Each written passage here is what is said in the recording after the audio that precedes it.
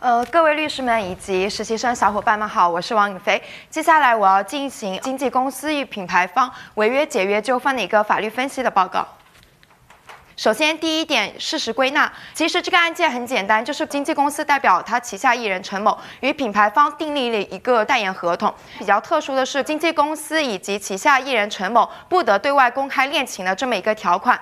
但是在二月十三号晚上七点的时候，被第三方爆出了一个恋情。那么基于这么一个后果，品牌方就对经纪公司提出了一个解约的合约。法院判断他的这个呃违约程度是否？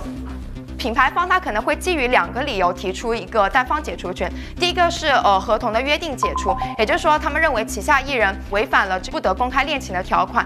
可以看到《九民纪要》第四十七条，他们认为哪怕是在约定解除的条件之下，也要由人民法院判断他的违约程度是否显著轻微，并且是否影响到了守约方合同目的实现，也要进行这么一个判断。那么第二个思路是，品牌方有可能提出一般法定解除，也就是说，他们认为陈某的这个行为其实会导致合同目的不能根本实现。王颖飞的话，准备还是相对比较充分的，整个气场也好，整个把控那个节奏也好，还相对比较 OK，在这个实习生这个态度上，应该还是可以。那么我们看到实际的情况是怎么样呢？其实，在二月十四日正式发售的时候，他们的销售情况其实是已经实现了预期利益的三分之二，所以我们认为品牌方其实是不具有单方解除权的。那么最重要的第三点是客户需求中，其实他呃着重提到的一点是，好，呃，谢谢各位。看看大家有什么问题要问吗 ？What is the problem troubling you the most throughout your research？我还有英语提问，太突然了吧？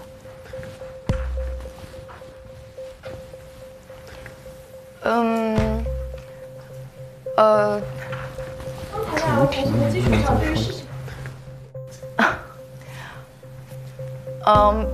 Uh, sorry, I, I, my English uh, is not very good, so I, I maybe use Chinese to answer your question. Uh, sorry.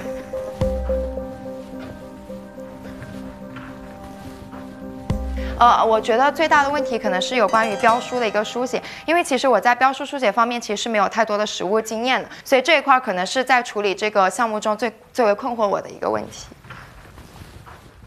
哇，这不太好吧？但这个用英文回答太难了。全是专业名词，他这样是对，他既然回答不了，就不要勉强。他其实他是听懂了他的问题，只是他没有把握说用英文可以流利的回答。